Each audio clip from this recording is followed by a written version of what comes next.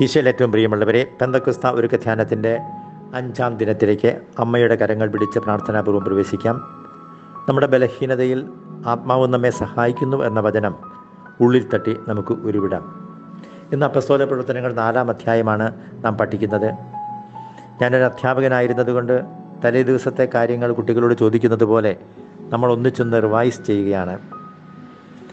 ഈ പത്രോസും യോഹന്നാനും കൂടി ഒരു മുടന്തന് സൗഖ്യം കൊടുത്ത സംഭവമാണ് അതിന്റെ അനന്തര ഫലങ്ങളും പ്രായോഗികമായിട്ട് ഞാൻ പറഞ്ഞത് രണ്ട് കാര്യങ്ങളാണ്. ഈശോ ചെയ്തിരുന്നത് പോലെ നമ്മുടെ വ്യക്തിപരമായ പ്രാർത്ഥനയും ഔദ്യോഗിക പ്രാർത്ഥനയും ഒരിക്കലും മുടക്കരുത്. A prayerless Christian is a powerless Christian എന്ന് ബില്ലി ഗ്രഹം പറയുന്നുണ്ട്. പ്രാർത്ഥനയില്ലാത്ത ക്രിസ്ത്യാനി ശക്തിയില്ലാത്ത ക്രിസ്ത്യാനിയാണ്. The family that prays together stays together എന്ന ഒരു ആപ്തവാക്യവും ഇതോടുകൂടി ഓർക്കാം. രണ്ടാമത് പറഞ്ഞത് യേശുനാമം.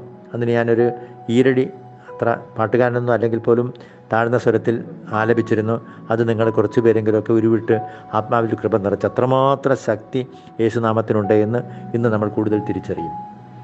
ഇനി നമ്മൾ ഇന്ന് ഈ മുടന്തനെ ഈശോ സുഖപ്പെടുത്തിയതിന്റെ ഒരു അനന്തര ഫലമായിട്ട് നേതാക്കന്മാർക്ക് പത്രോസിനോടും യോഹന്നാനോടും അസൂയമുണ്ടായി. അവരെ കാരാഗ്രഹത്തിലിടുന്ന സംഭവമാണ് നമ്മൾ ആദ്യം കാണുന്നത്. പിന്നീട് അതിനോട് അത് കണ്ടപ്പോൾ അപ്പസ്തോലന്മാരുടെ പ്രതികരണം റിയാക്ഷൻ എന്തായിരുന്നു? മൂന്നാമത് ഈ പ്രതിസന്ധിയെ അതിജീവിക്കുവാനായിട്ട് വിശ്വാസികൾ സ്വീകരിച്ച മാർഗം എന്തായിരുന്നു? ഇത് മൂന്നുമാണ് നമ്മൾ ധ്യാനിക്കുന്നത്. ഒന്നാമത് ധ്യാനിക്കുന്നത് അസൂയ ഇവരോട് ഉണ്ടായി എന്നുള്ളത്. അസൂയയും അസ്വസ്ഥതയും നമ്മിൽ പരിശുദ്ധാത്മാവ് നിറയുമ്പോൾ മറ്റുള്ളവർക്കുണ്ടാകും അത് സ്വാഭാവികമാണ്. നമ്മൾ തിരിച്ചറിയണം. ഞാനൊരു ആത്മീയ രഹസ്യം നിങ്ങളോട് പറയാം. ആത്മീയതയിൽ വളരുമ്പോൾ കൂട്ടുകാരുടെ എണ്ണം കുറയും.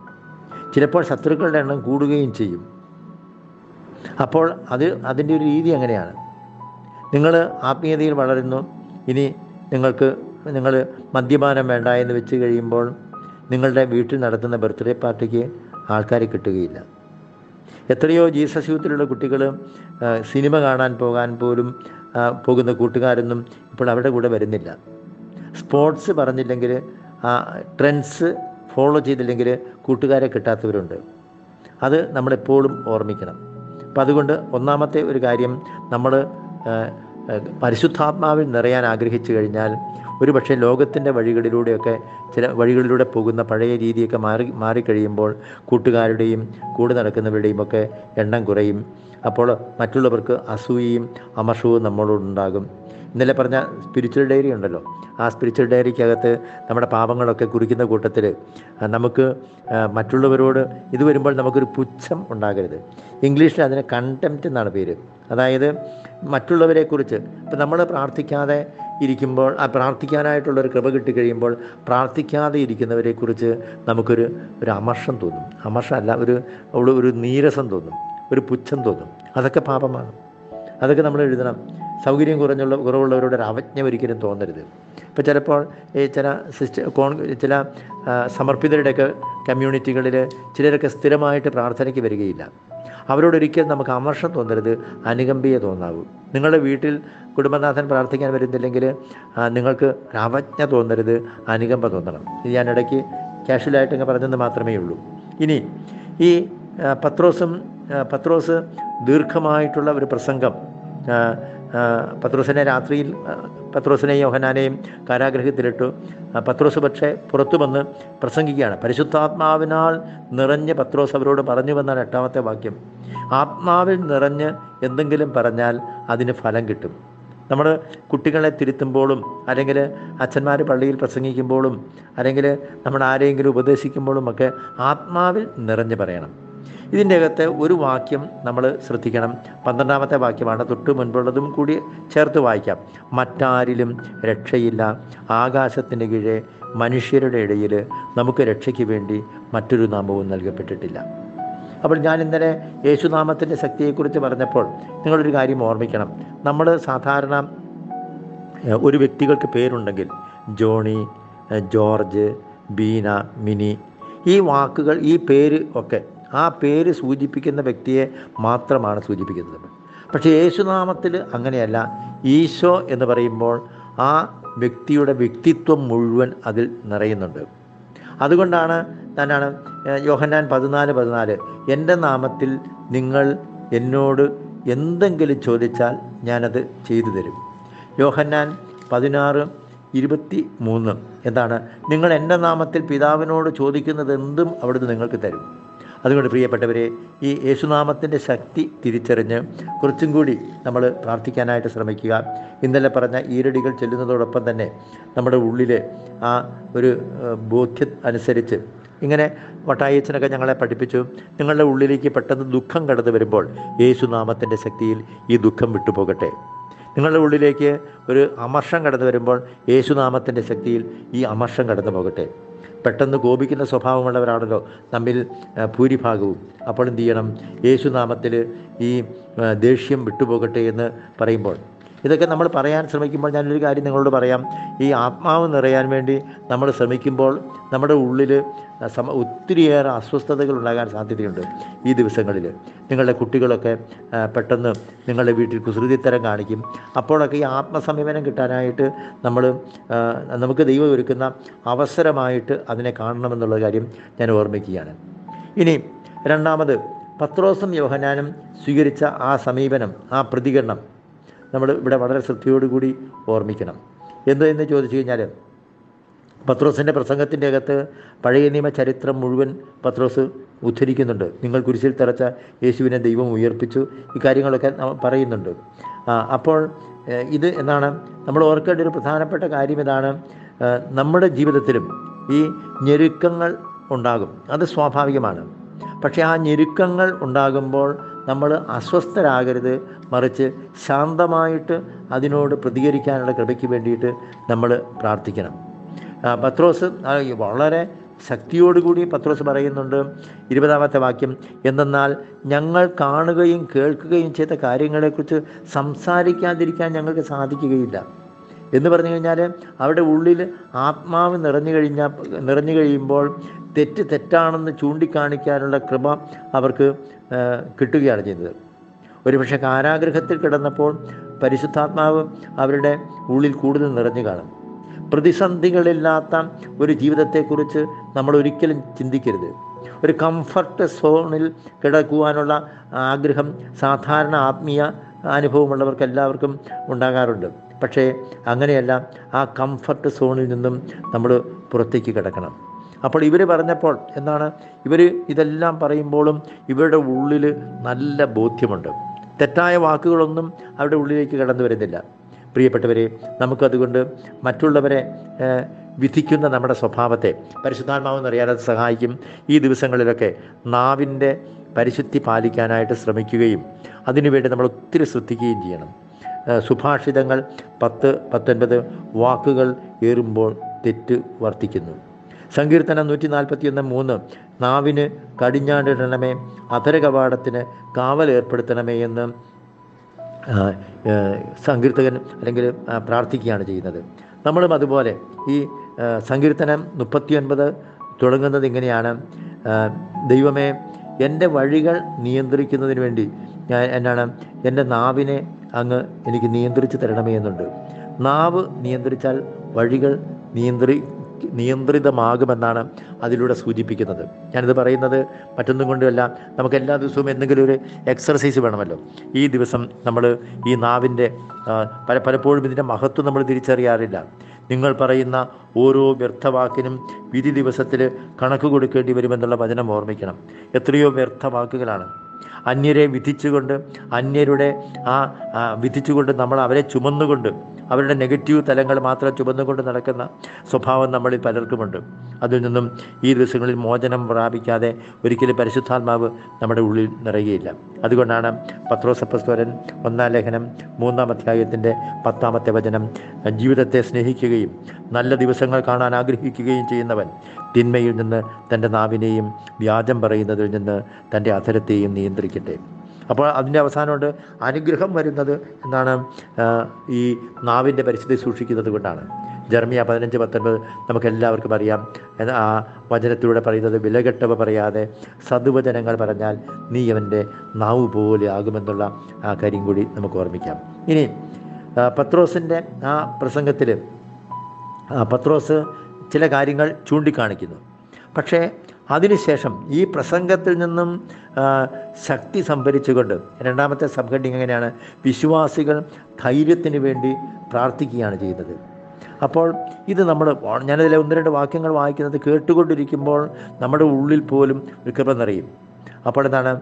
മോചിതരായ അവർ സുസമൂഹത്തിലെത്തി പറഞ്ഞ കാര്യങ്ങൾ അവരെ അറിയിച്ചപ്പോൾ എന്താണ്? അത് കേട്ടപ്പോൾ അവർ ഏക മനസ്സോടെ ഉച്ചത്തിൽ ദൈവത്തോട് അപേക്ഷിച്ചു. നാഥ ആകാശത്തിന്റെയും ഭൂമിയുടെയും സമുദ്രത്തിന്റെയും അവയിലുള്ള സകലത്തിന്റെയും സൃഷ്ടാവേ എന്ന് പറഞ്ഞുകൊണ്ട് ഇവർ പ്രാർത്ഥിക്കുകയാണ്. ആ പ്രാർത്ഥനയിലെ ഒരു കാര്യം ഇരുപത്തിയൊൻപതാമത്തെ വാക്യത്തിലുണ്ട്. അതിനാൽ കർത്താവെ അവരുടെ ഭീഷണികളെ അവിടുന്ന് ശ്രദ്ധിക്കണമേ. അപ്പോൾ നമുക്കെതിരെ തെറ്റ് വരുമ്പോൾ ആ തെറ്റിൽ ചൂണ്ടിക്കാണിക്കണം. കർത്താവെ ഞങ്ങൾക്കെതിരെ പല സ്ഥലങ്ങളിലും വടക്കേ ഇന്ത്യയിലും പല സ്ഥലങ്ങളിലും ദേവാലയങ്ങൾ തകർക്കപ്പെടുന്നുണ്ട്. നമ്മളത് അവിടെ അവിടെ നമ്മൾ നിശബ്ദത പാലിക്കുകയല്ല ചെയ്യുന്നത്. പാലിക്കണമെന്നല്ല പറ പരിശുദ്ധാത്മാവ് ആഗ്രഹിക്കുന്നത്. തെറ്റിനെ തെറ്റായി ചൂണ്ടിക്കാണിക്കണം. അതുകൊണ്ടാണ് അവരുടെ ഭീഷണികളെ അവിടുന്ന് ശ്രദ്ധിക്കണമേ. മണിപ്പൂരും എത്രയോ സ്ഥലങ്ങളിൽ ക്രിസ്ത്യാനികൾക്ക് പ്രാർത്ഥിക്കാൻ പോലും ആകാതെ അവർ വേദനിക്കുമ്പോൾ ഇവിടെ ഇരുന്നു കൊണ്ട് നമ്മൾ നമ്മുടെ ഉള്ളിൽ പരിശുദ്ധാത്മാവ് നിറയുന്നതോടൊപ്പം തന്നെ കർത്താവെയും ഈ ഭീഷണികളെ അങ്ങ് ശ്രദ്ധിക്കണമേ എന്ന് പ്രാർത്ഥിക്കണം. അതിനുശേഷമുള്ള ഒരു പ്രാർത്ഥന കഴിയുമെങ്കിൽ മനഃപ്പാഠമാക്കണം. മുപ്പതാമത്തെ വാക്യം അവിടുത്തെ പരിശുദ്ധദാസനായ യേശുവിന്റെ നാമത്തിൽ രോഗശാന്തികളും അടയാളങ്ങളും അത്ഭുതങ്ങളും സംഭവിക്കുന്നതിനായി അവിടുത്തെ കൈകൾ നീട്ടണമേ. കണ്ടോ? കർത്താവ് അവിടുത്തെ കരങ്ങൾ ഇന്ന് എവിടെയൊക്കെയാണോ സഭ പ്രതിസന്ധികൾ നേരിടുന്നത് അവിടുത്തെ കരങ്ങൾ അവരുടെ നേരെ നീട്ടണമേ എന്നുകൂടി നമ്മൾ പ്രാർത്ഥിക്കണം. പ്രിയപ്പെട്ടവരെ ഞാൻ ഇതിന്റെ അവസാന ഭാഗത്ത് വരുമ്പോൾ വിശ്വാസികളുടെ കൂട്ടായ്മ എന്നൊരു സബ് ഹെഡിങ് മുപ്പത്തിരണ്ടാമത്തെ വചനം മുതൽ നമ്മൾ കാണുന്നുണ്ട്. വിശ്വാസികളുടെ സമൂഹം ഒരു ഹൃദയവും ഒരാത്മാവുമായിരുന്നു. ഇത് നമ്മൾ ഓർമ്മിക്കണം. ഇന്ന് സഭയിൽ പല ബുദ്ധിമുട്ടുകളും ഉണ്ടാകുമ്പോൾ നമ്മളൊരു കാര്യം തിരിച്ചറിയുന്നില്ല. ഈ ബുദ്ധിമുട്ടുകളെ അതിജീവിക്കണമെങ്കിൽ ഈ ബുദ്ധിമുട്ടുകൾ മാറണമെങ്കിൽ നമ്മൾ ഒരു മനസ്സോടെ ഒരു ഹൃദയത്തോടെ മുൻപോട്ട് പോകണം. വിശ്വാസികളുടെ സമൂഹം ഒരു ഹൃദയവും ഒരാത്മാവുമായിരുന്നു. ഇന്ന് ഓരോ ഹൃദയവും ഓരോ ആത്മാവുമായി പോകുമ്പോൾ ദൈവത്തിന് ഒരിക്കലും പ്രവർത്തിക്കാനായിട്ട് കഴിയുന്നില്ല. ഒരു ഹൃദയവും ഒരാത്മാവുമായിട്ട് നമ്മൾ മുൻപോട്ട് പോകണമെന്നുള്ളത് കാര്യം പ്രിയപ്പെട്ടവരെ നമ്മൾ എപ്പോഴും ഓർമ്മിക്കേണ്ട ഒരു കാര്യമാണ്. അതുകൊണ്ട് ഇത് നമ്മുടെ നമ്മുടെ കുടുംബങ്ങളിലൊക്കെ ചില അനുഗ്രഹങ്ങളൊക്കെ തടസ്സപ്പെടുവാനുള്ള ഒരു കാരണം ഇതാണെന്ന് കൂടി നമ്മളെപ്പോഴും ഓർമ്മിക്കണം. നമ്മൾ ഞാനൊരു വചനം നിങ്ങൾക്ക് ഇപ്പോൾ പങ്കുവെച്ച് തരുന്നത് ഇതാണ്. അത് ഒന്ന് കുറിന്തോസ് പതിനാറാമത്തെ അധ്യായത്തിന്റെ പതിനാലാമത്തെ വാക്യമാണ്. നിങ്ങളുടെ സകല കാര്യങ്ങളും സ്നേഹത്തോടെ നിർവഹിക്കുവിൻ. ഞാൻ രാമുഖമായിട്ട് തന്നെ ഈ ദിവസങ്ങളിൽ പെട്ടെന്ന് പരിശുദ്ധാത്മാവിനാൽ പ്രേരിതനായ ഒരു കാര്യം പറയുന്നത്. പരിശുദ്ധാത്മാവിന്റെ വരങ്ങൾക്ക് വേണ്ടി നിങ്ങൾ പ്രാർത്ഥിക്കുക. നമ്മളെല്ലാവരും പ്രാർത്ഥിക്കണം. ഞാനും പ്രാർത്ഥിക്കാറുണ്ട്. പക്ഷേ വരങ്ങൾ പലതും എനിക്ക് ലഭിക്കാറില്ല. എങ്കിലും ഞാൻ ഒരു കാര്യം ഞാൻ പറയാം. സത്യസന്ധമായിട്ട് പറയാം. നമ്മുടെ ഉള്ളിൽ ഫലങ്ങൾ നിറയാൻ വേണ്ടി നമ്മൾ ആഗ്രഹത്തോടെ പ്രാർത്ഥിക്കണം. ഫലങ്ങൾ നിങ്ങൾക്കറിയാം. ഗലാത്തി ആറ് ഇരുപത്തിരണ്ടിൽ കൊടുത്തിട്ടുണ്ട്. സ്നേഹം ആനന്ദം സമാധാനം ക്ഷമ ദയ നന്മ വിശ്വസ്തത സൗമ്യത ആത്മസംയമനം. ഇത് ഞാൻ വന്നു കഴിഞ്ഞാൽ ഈ വരങ്ങൾ വേണ്ട എന്നല്ല ഫലങ്ങൾ ഫ്രൂട്ട്സ് അതിന് അധ്വാനമുണ്ട്. ആ ഫലങ്ങൾ നമ്മുടെ ഉള്ളിൽ നിറയാൻ വേണ്ടി ഈ പത്രോസും യോഹനാനും സ്വീകരിച്ച സമീപനം അതായിരുന്നു അവർ ക്ഷമയോടെ സൗമ്യതയോടെ ആത്മസമീപനത്തോടെ പെരുമാറി. പക്ഷേ കർത്താവെ അവരുടെ ഭീഷണികളെ അങ്ങ് ശ്രദ്ധിക്കണമേ എന്ന് അവർ പ്രാർത്ഥിക്കുകയും ചെയ്തു. ശത്രുവിന്റെ നാശം ആഗ്രഹിക്കാതെ ശത്രുതയുടെ നാശം നമ്മൾ ആഗ്രഹിക്കണം. ഈശോ പാപിയെ സ്നേഹിച്ചു പാപത്തെ വെറുത്തു. നമ്മൾ എപ്പോഴും ഓർമ്മിക്കണം. അത്രമാത്രം ശക്തമായിരുന്നു ആ പ്രാർത്ഥന. അതുകൊണ്ടാണ് മുപ്പത്തിയൊന്നാമത്തെ വചനത്തിൽ പ്രാർത്ഥന കഴിഞ്ഞപ്പോൾ അവർ സമ്മേളിച്ചിരുന്ന സ്ഥലം കുലുങ്ങി. അവരെല്ലാവരും പരിശുദ്ധാത്മാവിനാൽ പൂരിതരായി ദൈവവചനം ധൈര്യപൂർവം പ്രസംഗിച്ചു.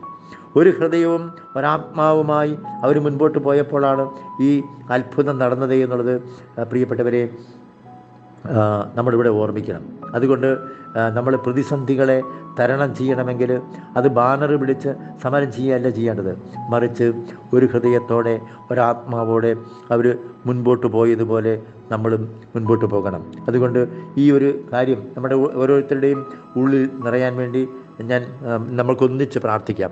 ഞാൻ ആ യേശുനാമത്തെക്കുറിച്ച് പറഞ്ഞപ്പോൾ പറയാൻ വിട്ടുപോയ ഒരു കാര്യം കൂടി. നമ്മുടെ ജപമാല ചെല്ലുമ്പോൾ അങ്ങയുടെ പരിശുദ്ധ മറിയമേ ജന്മ നിറഞ്ഞ മറിയമേ സ്വസ്തി കർത്താവ് അങ്ങയോടുകൂടെ സ്ത്രീകളിൽ അങ്ങ് അനുഗ്രഹീതയാകുന്നു. അങ്ങയുടെ ഉദരഫലമായ ഈശോ അനുഗ്രഹീതനാകുന്നു. ആ ഭാഗം വരുമ്പോൾ നിങ്ങൾ അല്പം ശ്രദ്ധയോടുകൂടി. ഇനിയുള്ള ദിവസങ്ങളിലൊക്കെ കാരണം യേശുനാമത്തിന്റെ ഒരു ശക്തി. ഞാനിതൊരു അനുഭവത്തിലൂടെയാണ് ഒരിക്കൽ ഒരു എട്ട് പത്ത് വർഷത്തിന് ശേഷം ഒരു മകൾ പ്രഗ്നന്റ് ആയപ്പോൾ. അവരത്രമാത്രം പ്രാർത്ഥിച്ചൊരുങ്ങിയിരുന്നു. ഈ കുഞ്ഞിനെ ഉദരത്തിൽ വഹിക്കാൻ തുടങ്ങിയ നിമിഷം മുതൽ ഞാൻ അവൾ ആ ദമ്പതികളോട് പറഞ്ഞു. പ്രത്യേകിച്ചും കുഞ്ഞിനെ ഉദരത്തിൽ വഹിച്ച മകളോട് പറഞ്ഞു കുഞ്ഞെ നീ എന്നും ജപമാല ചൊല്ലുമ്പോൾ അങ്ങയുടെ ഉദരഫലമായ ഈശോ എന്ന് പറയുമ്പോൾ നിന്റെ ഉദരത്തിൽ വളരുന്ന ഈ കുഞ്ഞിനെ കൂടി നീ ഓർക്കണമെന്ന് പറഞ്ഞു. ആ കുഞ്ഞിനെ ഈശോയ്ക്ക് കൊടുക്കണമെന്ന് പറഞ്ഞു. അവളത് അക്ഷരം പ്രതി അനുസരിച്ചു അങ്ങനെ അവർ ഈ കുഞ്ഞ് ആ കുഞ്ഞിന്റെ കൃപ. ഇപ്പോൾ ആ കുഞ്ഞിന് ഒരു പത്ത് പതിനാല് വയസ്സുണ്ട്. അത്രമാത്രം അന്ന് അമ്മയുടെ ഉദരത്തിൽ വളർന്നപ്പോൾ കിട്ടിയ ആ കൃപയുടെ സമൃദ്ധി ഇന്നും ആ കുഞ്ഞിലുണ്ട് എന്നുള്ളത് ഒരു സാക്ഷ്യത്തോടു കൂടി ഞാൻ നിങ്ങളോട് പറയുകയാണ്. നമ്മളൊരു ജപമാല ചെല്ലുമ്പോൾ അൻപത്തിമൂന്ന് പ്രാവശ്യമെങ്കിലും നമ്മൾ ഈ ഉദരഫലമായ ഈശോ എന്നുള്ളത് ഉരുവിടുന്നുണ്ടല്ലോ. അപ്പോഴൊക്കെ എന്താണ്? ആ എല്ലാവരും ഉദരഫലമായി ഈശോ എന്ന് പറയുമ്പോൾ ഉദരഫലമെന്ന് പറയേണ്ട കാര്യമില്ല. പക്ഷേ ഈശോ എന്ന വാക്ക് വരുമ്പോഴെങ്കിലും നമ്മൾ പ്രത്യേകമായിട്ട് ഓർക്കണം. മറ്റൊരു കാര്യം ഞാൻ ഒരിക്കൽ ഒരു കൃപാനി അനുഭവ ധ്യാനത്തിൽ പറഞ്ഞതുപോലെ നമ്മൾ ഓശാന ഗീതം ആലപിക്കുമ്പോൾ മാലാഹമാരോട് ചേർന്ന് ആ ഗീതം ആലപിക്കാനുള്ള ഒരു കൃപയ്ക്കായിട്ട് നമ്മൾ പ്രാർത്ഥിക്കണം. അപ്പോൾ കാര്യം എന്താണ്? മാലാഹാമാരോട് ചേർന്ന് നമ്മളത് ആലപിക്കുമ്പോൾ നമ്മുടെ ഉള്ളിലേക്ക് ഒരു കൃപ നിറയും എന്നുള്ളത് കൂടി നമുക്ക് ഓർമ്മിക്കുവാനായിട്ട് കഴിയും. അതുകൊണ്ട് പത്രോസും യോഹന്നാനും സ്വീകരിച്ച സമൂഹം വിശ്വാസികൾ സ്വീകരിച്ച ആ സമീപനം പ്രിയപ്പെട്ടവരെ നമുക്കും ലഭിക്കുന്നതിന് വേണ്ടിയിട്ട് നമ്മൾ പ്രാർത്ഥിക്കാം. അവർ സ്വന്തമായ അവരുടെ പറമ്പും ഒക്കെ എന്നാണ് വീടുമൊക്കെ സ്വന്തമായി ഉണ്ടായിരുന്നവയെല്ലാം വിറ്റ് കിട്ടിയ തുക അപ്പസ്തോലന്മാരുടെ കാൽക്കൽ സമർപ്പിച്ചു എന്നുള്ള ഭാഗം നിങ്ങൾ അവസാനം വായിക്കുമ്പോൾ അത് അവസാനം ഏറ്റവും അവസാനത്തെ വാക്യം എന്താണ് ലേവായനായ ജോസഫ് തന്റെ വയൽ വിറ്റ് കിട്ടിയ പണം അപ്പസ്തോലന്മാരുടെ കാൽക്കൽ സമർപ്പിച്ചു. നാളെ അടുത്ത അധ്യായം വായിക്കുമ്പോൾ ഇതുകൂടി നിങ്ങളുടെ മനസ്സിൽ ഉണ്ടാകണമെങ്കിൽ മാത്രമേ അത് മുഴുവൻ മനസ്സിലാവുകയുള്ളൂ. പ്രിയപ്പെട്ടവരെ അല്പം വേഗതയിലും ഞാൻ ഒരു ചിതറിയ ചിന്തകൾ പോലെ പങ്കുവെച്ചപ്പോൾ എന്റെ ഉള്ളിൽ പരിശുദ്ധാത്മാവ് ഒരു ബോധ്യം തരുന്നുണ്ടായിരുന്നു. ആ ബോധ്യമനുസരിച്ചാണ് ഞാൻ ഓരോ കാര്യങ്ങളും പറഞ്ഞുകൊണ്ടിരുന്നത്. ഞങ്ങളുടെ മുൻപിൽ ഞാനിന്ന് വയ്ക്കുന്ന ആ ഒരു പരിശീലനം എന്ന് പറയുന്നത് പ്രധാനമായിട്ടും യേശുനാമം നമ്മൾ ഉരുവിട്ടുകൊണ്ട് ഏതെങ്കിലും ഒരു വചനം മനഃപ്പാഠമാക്കി ഈശോയുടെ നാമത്തിൽ കൂടുതൽ പ്രാർത്ഥിക്കാനായിട്ട് ശ്രമിക്കുക. രണ്ടാമത്തേത് നമ്മുടെ വാക്കുകളിൽ നമ്മുടെ അല്പം കൂടി ശ്രദ്ധ ചെലുത്തണം. കുറ്റപ്പെടുത്തുന്ന വിധിക്കുന്ന കുറ്റം പറയുന്ന ആ സ്വഭാവത്തെ നിയന്ത്രിച്ചുകൊണ്ട് എഫേസുസ് നാല് പതിനഞ്ചിൽ വായിക്കുന്നത് പോലെ പ്രത്യുത സ്നേഹത്തിൽ സത്യം പറഞ്ഞുകൊണ്ട് ശിരസായ ക്രിസ്തുവിലേക്ക് എല്ലാ വിധത്തിലും നാം വളരേണ്ടിയിരിക്കുന്നു. നമ്മൾ സത്യം പറയണം പക്ഷേ സ്നേഹത്തിൽ ചേർത്ത് സത്യം പറയാനുള്ള കൃപയ്ക്ക് വേണ്ടിയിട്ട് നമുക്ക് പ്രാർത്ഥിക്കാം. അങ്ങനെ പരിശുദ്ധാത്മാവിനെ കിട്ടാനായിട്ട് നമ്മൾ ഒരുങ്ങുക. ഇന്ന് നമ്മൾ ഉരുവിടേണ്ട വചനം റോമാലേഖനം അഞ്ച് അഞ്ച്. പ്രത്യാശ നമ്മെ നിരാശരാക്കുന്നില്ല. നമുക്ക് നൽകപ്പെട്ടിരിക്കുന്ന പരിശുദ്ധാത്മാവിലൂടെ ദൈവത്തിന്റെ സ്നേഹം നമ്മുടെ ഹൃദയങ്ങളിലേക്ക് ചൊരിയപ്പെട്ടിരിക്കുന്നു. ആ സ്നേഹാനുഭവം നമ്മുടെ ഉള്ളിൽ നിറയാൻ വേണ്ടി നമുക്ക് പ്രാർത്ഥിക്കാം. ഈശോയുടെ നാമത്തിൽ പ്രാർത്ഥിക്കുന്നു. അന്ധകാര ശക്തികൾ നിർവീര്യമാകട്ടെ എന്ന് പ്രാർത്ഥിക്കുന്നു. ബന്ധക്രിസ്ത ഒരുക്ക ധ്യാനത്തിൽ പങ്കെടുക്കുന്ന എല്ലാ മക്കളെയും കർത്താവെ അവിടുത്തെ ഹൃദയത്തിലേക്ക് ചേർത്ത് വെച്ച് ഞാൻ തിരുഹൃദയദാസനായ ഒരു വൈദികനാണ്. ആ ഒരു കോൺഗ്രിഗേഷനിലെ മെമ്പറാണ്. ഒബ്ലേറ്റ്സ് ഓഫ് സൈക്കഡ് ഹാർട്ട് എനിക്കൊരു അവകാശമുണ്ട്. ഈശോയുടെ ഹൃദയത്തിൽ മറ്റാരേക്കായാലും എനിക്ക് എല്ലാ ഈശോയുടെ തിരുഹൃദയദാസനായതുകൊണ്ട് ഒരു അവകാശമുണ്ട് ആ അവകാശത്തിൽ പ്രാർത്ഥിക്കുന്നു. ഈ ധ്യാനത്തിൽ പങ്കെടുക്കുന്ന മക്കൾക്ക് പരിശുദ്ധാത്മാവിനെ കിട്ടാനായിട്ട് ഈശോയെ നിന്റെ ഹൃദയത്തിൽ നിന്നും ആ സ്നേഹാഗ്നി ജ്വാലകൾ അയക്കണമേ. പ്രത്യാശ നമ്മെ നിരാശരാക്കുന്നില്ല. നമുക്ക് നൽകപ്പെട്ടിരിക്കുന്ന പരിശുദ്ധാത്മാവിലൂടെ ദൈവത്തിന്റെ സ്നേഹം നമ്മുടെ ഹൃദയങ്ങളിലേക്ക് തിരിയപ്പെട്ടിരിക്കുന്നു. നമ്മുടെ കർത്താവിശ്വസിഹായുടെ കൃപയും പിതാവായ ദൈവത്തിന്റെ സ്നേഹവും പരിശുദ്ധാത്മാവിന്റെ സഹവാസവും പരിശുദ്ധി അമ്മയുടെ പ്രത്യേക സംരക്ഷണവും നമ്മെല്ലാവരുടെയും കൂടെ ഉണ്ടായിരിക്കട്ടെ. ഇപ്പോഴും എപ്പോഴും എന്നേക്കും. ആമേൻ.